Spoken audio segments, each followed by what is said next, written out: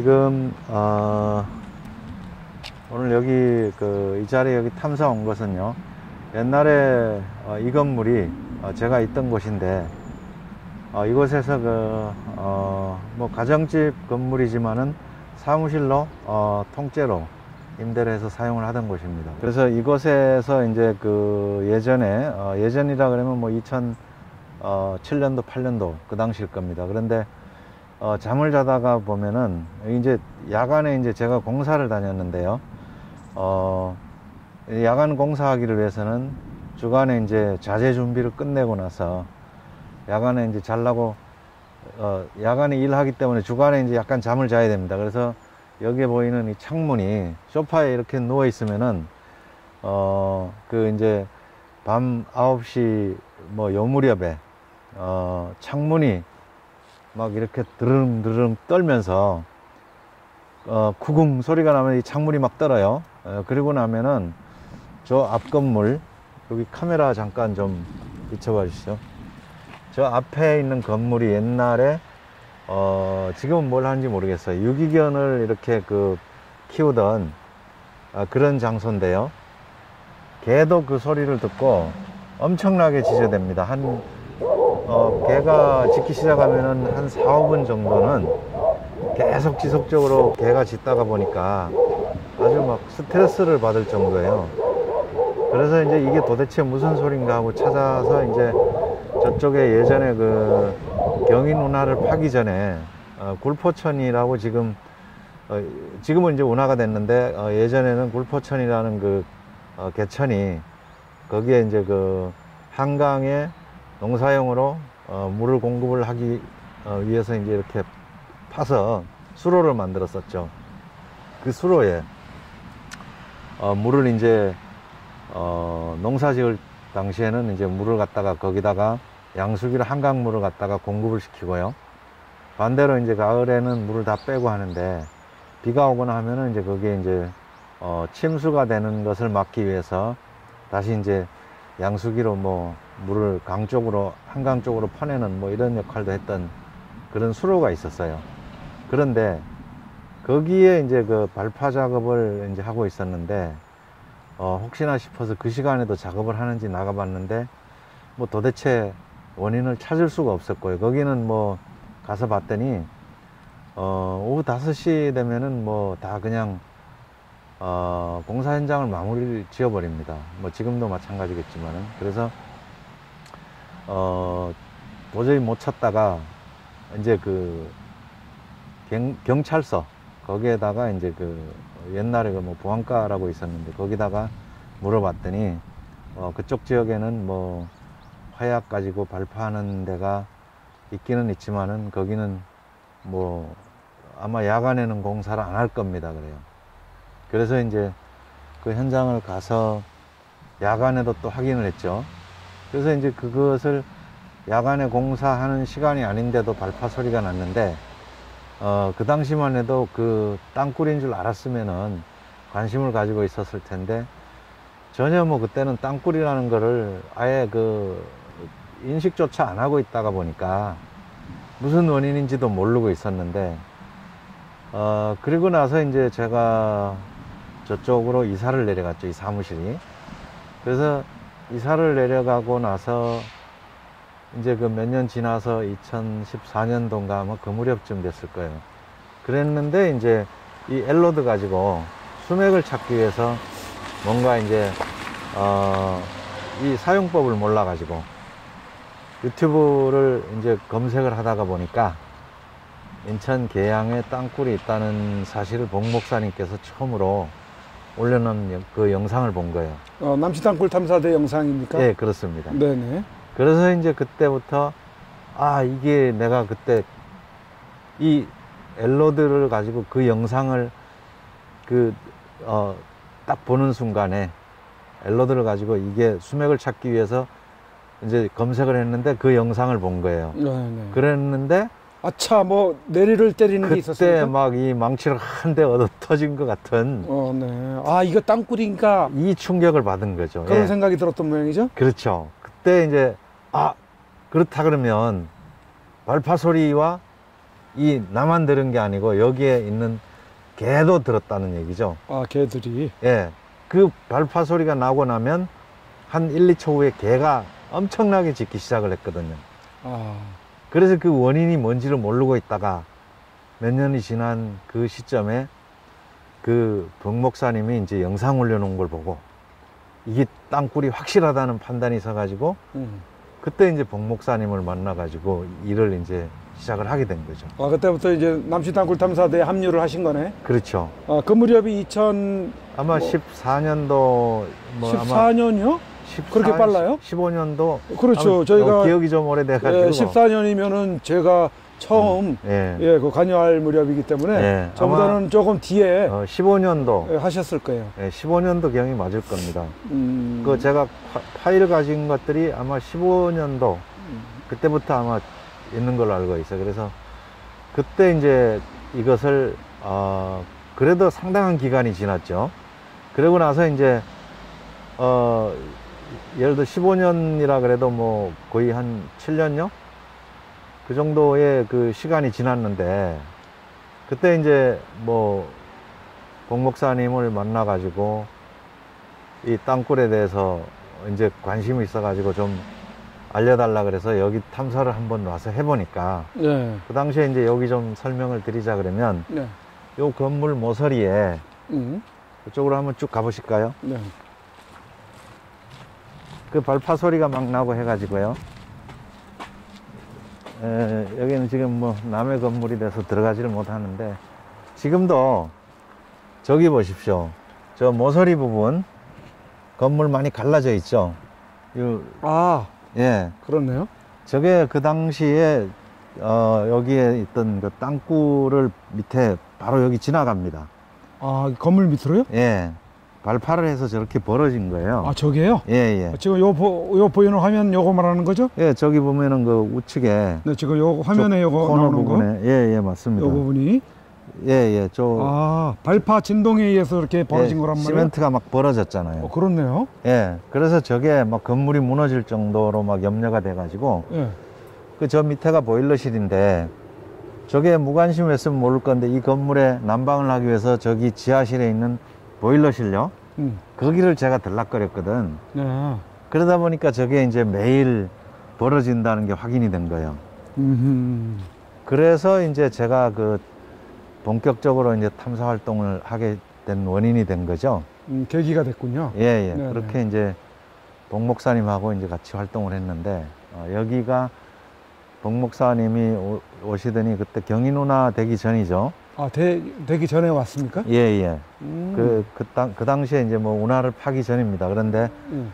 그 당시에도 뭐 깊이가 상당히 뭐 깊다고 그래요. 어, 한 58m 아, 뭐이 정도로 오버하우스로. 예, 그 음. 깊이라고 그랬는데 음, 어, 여기서 이제 그 저쪽 방향이 음.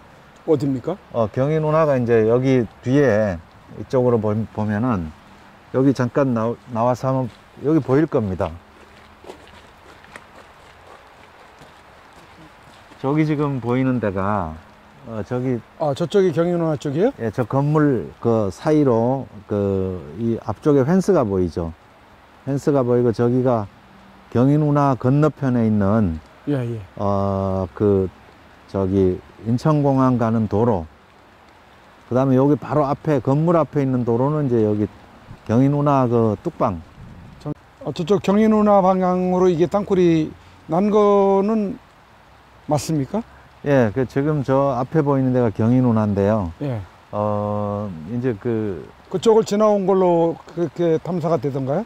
아, 이제 저기가 이렇게 지금 보이는 면에서 좌측편에서 우측편으로 이렇게 그 운하가 파져 있는데요. 네, 네. 우측은 이제 저리 나가면은 그, 어, 저- 교양대교 쪽입니까? 우측은? 아니요, 저기 그 인천 그 저기 정서진이라고 표현하나요? 그 저기 경인운하 시작되는데 음, 바다하고 음, 예, 연결되는 부분이죠. 음, 그다음에 이제 여기 좌측편은 이제 운하의 그 끝 부분으로 가는 음, 그 김포공항 방향으로 가게 되는데요. 음. 그쪽에 해당이 되는 데고 어 실제로 이제 여기 다시 설명을 드리자 그러면 이 건물 앞에 아까 그 탐사를 좀 했었는데요.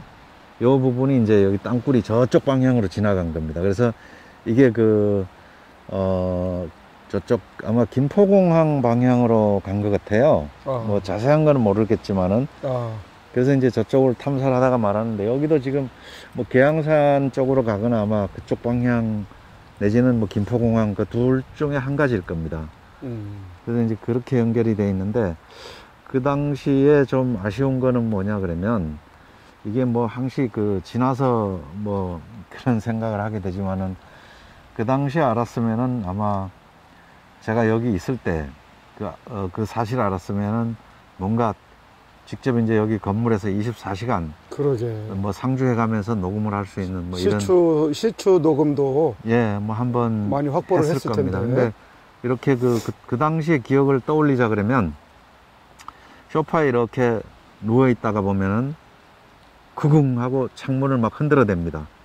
그 소리에 놀라가지고 벌떡 깨면은 이미 또 개가 짖기 시작을 해요. 음, 개가 한 5분 정도 막 짖고 이러다가 막 그게 하루 이틀이 아니고 꼭 야간 시간에 그 시간대에 막 이렇게 그런 문제가 있어가지고 스트레스를 엄청 받았는데 그때 땅굴을 인지하지 못했던 게 참 안타깝고 지금도 뭐 땅굴이라는 것을 이제 다니면서 알게 돼 알게 돼 가지고 여러 군데로 이제 같이 이제 탐사 활동을 다니고 녹취도 하고 했는데 어 이것은 뭔가가 국민들이 반드시 알아야 될 것은 이게 저 혼자만의 문제가 아니라는 거죠. 이 대한민국 전체가 죽느냐 사느냐 이 안보가 직결된 문제입니다. 그래서 어, 이 이런 부분들을 국민들이 관심을 좀 가지셔 가지고 저희와 한 목소리를 내줄 수 있는 그런 날이 오면은 저희한테는 상당한 큰 힘이 되죠.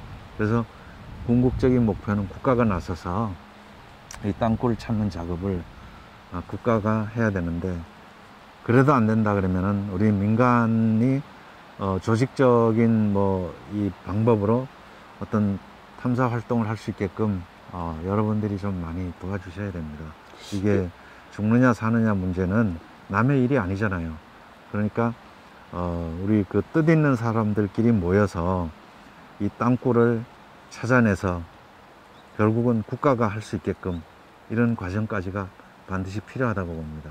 아, 그러면 그 당시에 여기에 에, 계실 때 그 개들이 예. 굉장히 많이 짖었다는 것은 어, 당시에 개들은 땅 속에서 무슨 일이 벌어지고 있다는 것을 알았던 거였네요. 그 개들도 평상시에는 뭐 짖질 않는데 그러니까 그런 발파 소리가 나고 난 나니까 직후에 놀래서 놀래서 예. 그러니까 한마디로 말해서 개들이 짖는 어, 그 소리를 우리가 통역을 하자면 땅굴이다, 땅굴이다, 땅굴이다 막 이렇게 짖었던 거네요. 예, 물론 의역을 하자면은 그렇게 해석할 수도 있고요.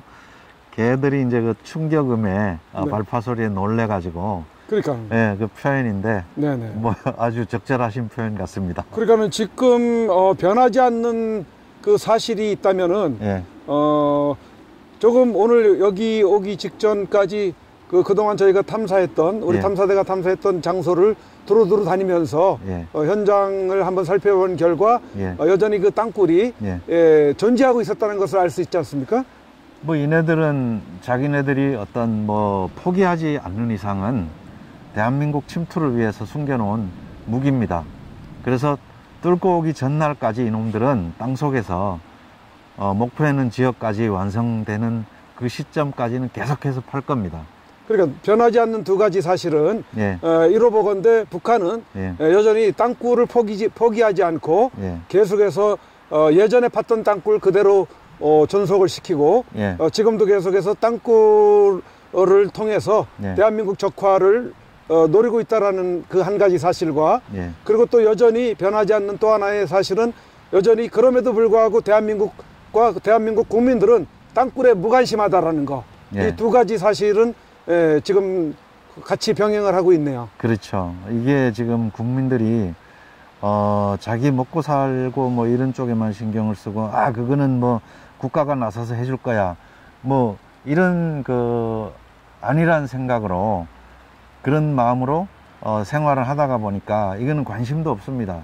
그냥 먹고 즐기는 것만 만족을 하지 뭐 영상을 저희가 100번 죽어, 죽어라고 만들어서 이거 국민들 이렇게 위험한 상황이니까 제발 관심 좀 가져주시고 이게 국가가 나설 수 있게 저희 좀 도와주십사 해도 일체 무관심하면서 비아냥거리고 뭐 이런 사람들이 한두 명이 아닙니다.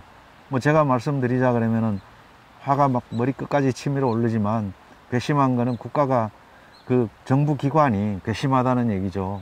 군인들이 이것을 파서 해결을 해야 될 부분을 우리가 민간인이 먹고 살기도 바쁜 이런 그 시간에 다니면서 이런 활동을 저희가 해야 되다가 보니까 얼마나 화가 치밀어 오르겠습니까? 그 다음에 또 한 가지는 국민들이 의식 수준을 높여야 된다는 얘기는 만약에 땅굴이 침투해서 올라와서 이게 진짜 인민군들한테 어? 칼 맞고 총 맞고 죽어봐야 저승이라는 걸 알 수 있는 뭐 이런 어리석은 사람들 같이 보입니다. 제발 이러한 그 끔찍한 사실은 정말로 생- 상상조차도 하기 싫으니까 저희 할아버지 할머니 세대는 김일성이 한데 모든 재산 몰수를 다 당했어요. 그러다 보니까 빈 털터리가 돼가지고 거지가 돼서 뭐 대한민국으로 이제 피신을 와서 결국은 휴전이 되고 다시 북으로 돌아가지 못하는 이런 상황이 생겼는데 그 당시에 만약에 상상도 하기 싫은 그런 거지만은 제가 만약에 북한에 태어났다 그러면 생지옥 말 그대로 먹는 거 굶주려야죠. 뭐 내가 생각하는 거 마음대로 활동할 수 있습니까? 짐승이나 다름없는 이런 생활을 하는 북한에 태어나지 않은 게 참으로 우리 부모님한테는 그나마 감사히 나는 이런 마음으로 살아가고 있는 겁니다. 예, 우리 그 역대 에, 그, 그 군인들 장성들 중에서 예. 어, 대부분이 그 북한의 에, 남침용 장거리 땅굴에 대해서 에, 인정을 안 하고 있지 않습니까? 예. 그러나 반면에 겉으로 어, 적극적으로 말씀 언급은 하지 않지만은 예. 에, 그 장거리 땅굴이 있음을 시사하는 예. 발언을 하는 분도 있어서 좀 주목을 끌고 있는데 어, 제가 이제 그 이 여기에서 이제 땅굴이라는 걸 알게 됐는데요. 어, 결국은 뭐냐 그러면은 어 뭐 지금도 어 그래도 꾸준하게 이제 뭐 많은 금액은 아니지만 국민들께서 적은 비용이라도 이렇게 후원을 해주셔 가지고 저희가 이렇게 모아서 뭐 저희는 뭐 다른 데 쓰질 않습니다.